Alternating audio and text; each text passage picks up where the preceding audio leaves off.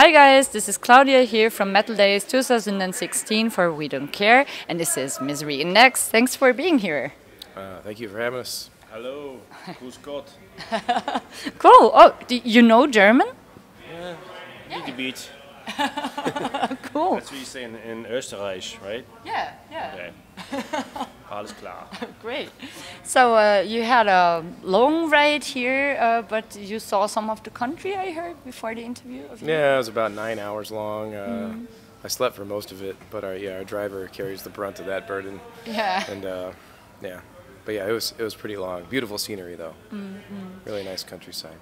And uh, do you get to stay here after uh, today, or you have to move on? I think and- so. I don't. I, I mean, I think it's a somewhat of a long drive, but I don't think we're in a big hurry We hurry have or a anything. hotel. Oh, Yeah, we have a okay. hotel. Town. So Because you know there's um, a nice beach here at the site, and Oh, yeah? probably you can enjoy actually playing in yourselves a bit. tomorrow. Yeah, yeah, So I heard that with uh, Hate May? Return. yeah, it's a it's a long long ride actually. Yeah. Oh, so Yeah, yeah, it takes some leave time.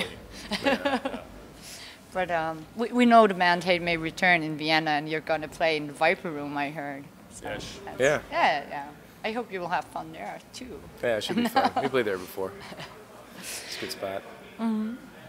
Uh, so when you're touring such a lot, you get to meet a lot of people, of course. But is it all the same guys all the time, or you get to meet some new people as well? You run into a lot of the same faces. Yeah. Yeah, for yeah. sure. Yeah, like in the bands and, and what Mm-hmm. have you. I mean, it seems like it's really huge. but It's really like a pretty small circuit of people. Mm-hmm. Um, it kind of keeps like revolving around these uh, seemingly big events. Mm-hmm.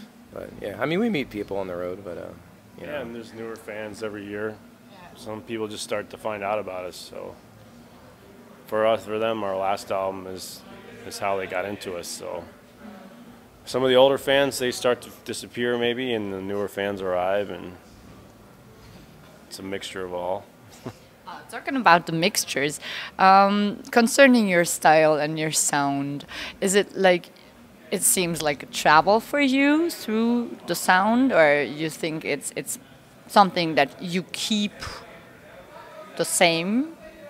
in- Mm, well, in- there's in the certain there's certain traditions that we like to keep alive in the music, but we also don't like to stagnate either. Um, you know, when Jason started the band, you know, back in 2002, it was more of like a grindcore band, and uh, certainly like the the follow following like probably two records is more like in that vein.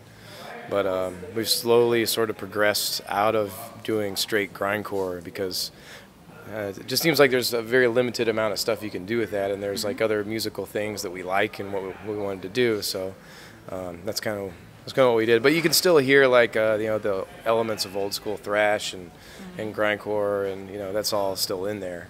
Um, but it's mixed in with the with other like more melodic, atmospheric elements and that kind of stuff. And uh, with the melodic part, uh, the vocals are also involved a bit in uh, your compositions. Is that something that you can like have experiments, or, or you say no, you you want to do something that other people did before? It, ta- uh, it takes a really, really long time to get the vocals right because it, has to be act as another instrument in the you know in the mix. So the rhythm and syllabic patterns and what words you choose, and then Mm-hmm. are you able to say what you want to say and still have like the syllabic pattern you're looking for and Mm-hmm. That kind of thing. So it, I'd say like each song probably takes about a hundred hours of, of contemplating the lyrics and the and the vocal patterns and things like that. Um, but as far as like experimentation, uh, you know, you're not going to hear us like get up there yodeling or some shit, you know. like- Well, We're gonna, you know, we like keep our own, you know, our own take on like, uh, you know, screaming Yeah. vocals. I don't think we'll be singing anytime soon. Either. Listen to me, I can't. There's no way. So um, with the sound, uh, quite often there's musicians, you know, that keep their gear and say this is important to have, and that, and the effects, and the amps, and the guitars, and whatnot. And uh, what is your feeling towards that? Uh, we definitely have our favorite stuff that we like to use. Yeah. And uh, if you're going to get your sound, you got to use that stuff. Um, that said, we are pretty adaptable. We can play on a lot of different types of gear, but uh, you know, I, for me, I prefer uh, like EVH amplifiers and ESP guitars. We all play ESPs, Yeah. and uh, Ernie Ball strings, the Cobalt ones, because they have like a really nice sound to them. Like, I guess like it has a greater magnetic property or something. That particular metal, I don't know. Um, but yeah, that said, you know, I could pick up any sort of axe. I think he could do, and. You know, we can make make happen what we need to make happen. But it wouldn't it wouldn't be ideal, and it wouldn't you know sound. Yeah, but if A you hundred get to get that, then it's better. Yeah, yeah. 'Cause, I mean, we put a lot of uh, thought into the gear that we choose to use. You know, uh, our all our rigs are fairly simple. You know, a couple pedals and a and an amp and some speakers, but it's like very particular on what those things are. So. Um, is there any like recommendations for bands just starting out, what to do or not to do, or whom to listen to, or something like that? I, it's the best thing you can do is is is write good songs. You know, that's the that's really the, where it all begins. Don't try to copy your your influences too much, and, and sort of try and develop your own whatever comes out of your own sort of Yeah, you need songwriting heart. Yeah, you need your own voice for sure. There's way too many copycat bands out there. Way too many bands that are just trying to do a sound, like do a popular sound like stoner, doom, tech death, whatever, and pretty much it just sounds like seven other albums that came before it. It's just a you could call it perfecting or whatever, or it ends up being just being like a carbon copy. So, um, and you know, those kinds of bands can get popular too, but you know, you know, take some pride in what you're doing here. You know, it's supposed to be, you know, artistry. You know, there's only one Picasso. You know, yeah, I don't think we're reinventing the wheel in any way either, but we're I think we have our own sound. I think we sound like Misery Index, and we don't really sound like anyone else. So maybe yeah, we got our own voice and subject matters that we like to, to deal with. So, It, kind of makes me happy that you mentioned the word art history because I keep asking, what is art? What what is an artist? What makes an artist? Are you artists? sure, you know, I, artistry is probably just striving for that individual voice. I mean, you know, certainly you're probably a collection of all your influences. It's you know deep down, but um, you know, just trying to push it further to to a point where it just it isn't a just a carbon copy of what's come before. You know, that's that's just a study. You know, what people do like you know they make they make things and like visual art would be like a study. You try to like make the still life over here. You know, and those those albums that you hear, that's pretty much like, wow, that sounds exactly like this other album. You know, just different songs, and that's that's kind of more of a study. Um, and you want to kind of push it, do your best to push it beyond that and um, make some memorable stuff. So after the technical part, then. Yeah, there's, I'm not taking anything away from you know some dudes that can totally just you know shred their their instrument, and, uh, but you know at the end of the day you got to put those tools to work, you know, and not just uh, hey look I can sweep a bunch, like mm, great, What for? yeah what to what clean the effect, floor. yeah, to what effect, you know. Yeah, we're more, we're definitely more into like the good songs and songwriting than uh, you know trying to wow you with some sort of solo or technical ability. Even though we you know we, we do some of that stuff. you know what you do. Yeah, we know we know. you know your stuff. yeah, I feel like we have a, a pretty good grasp on how to use those kinds of things without being too overbearing with it. And um, everyone grew up in some scene in the, you know, the musical part.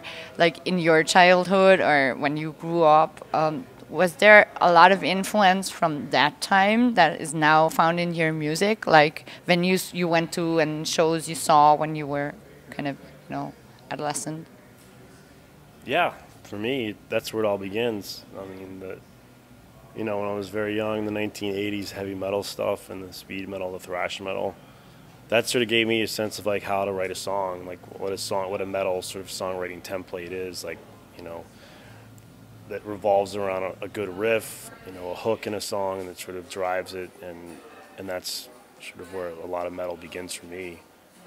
And even as death metal kind of came out of all that, I think that tradition is still in death metal and extreme metal. it came from metal, it still has those sort of like you know forms to work with, and and when I'm writing songs today, that's that's sort of the way I approach it, the way I think about it. I'd, I'd, rather not have a song which is just a collection of like 25 different riffs, you know, where they're constantly changing and jumping tempos. And I'm sort of more traditionalist in that way. I like choruses, I like verses, and some interesting way to work in that framework. It doesn't have to be that every time, but that's at least my how I like to approach it. So, so you had a favorite like metal bar that you went to or something? Um, well, no, we didn't really have metal bars. Metal isn't. Um, no, it was usually just for friends. You know, you hang out with friends who are like-minded and friends, and you kind of share the music with each other. And yeah, it was more home parties, I guess. Very much. uh, and what about you? Yeah, well, I guess the same for me. I mean, when I was like, I don't know, 13, 14 years old, uh, had a friend, we had an older brother, you know, listened to Megadeth and shit like that, yeah. and you know, he sort of like handed all this stuff down to us, and we, that sent us exploring. And he was a drummer, my friend was, and uh, we just started like playing together. His name's Andy, Andy Husky, and uh, so we started a band called Hostile Aggression. we just started we started playing together, just you know, trying to mimic what we what we heard. Uh, but you know, not totally same sort of philosophy. We can't sound exactly like that band. You had your own thing, and so we started writing uh, right out of the gate. We started trying to write our own thing, and uh, just same as Jason here. We just we would throw these parties, and you know, the band would play. And man, we did that like all the way through high school, and uh, maybe a little bit like afterwards, mm-hmm. and uh, you know, it's huge parties like three, four hundred people, and. Uh, you know, everybody's everybody was into you know some kind of form of metal or whatever. Mm-hmm. But yeah, that's that's sort of like how I came up. There wasn't any bars or anything like that uh-huh. involved. It was just like party yourself. Yeah, getting getting together with your friends and like learning about different records. You know, we had this record store called the Missing Link mm-hmm. in St. Louis, which isn't there anymore, and that's and this guy named uh, Frank, who uh, incidentally you know carried the, some of the first dying fetus records too, and uh, when he was in fetus, and. Um, yeah, we used to go there, and uh, you know, Frank would uh, wear this like little, so, such a weirdo. He like wear this like little um, top hat, like okay. like a party hat. Uh-huh. He would always wear this thing, and uh, go in there and like turn us on to different things, and uh, yeah, that's that. that's how I found out about uh, like bands like Edge of Sanity, mm-hmm. and um, you know some lesser known bands like Depressive and Autumn Leaves and stuff like that because of Frank missing link. and uh, yeah, all, all my friends we used to take you know take the road trip out there and go look through records and listen. Uh-huh. You know, so yeah, that's where we came up. So thank you very much for these impressions and the answers. Thank you for the interview. Yeah, you're welcome. Thank, thank you. you.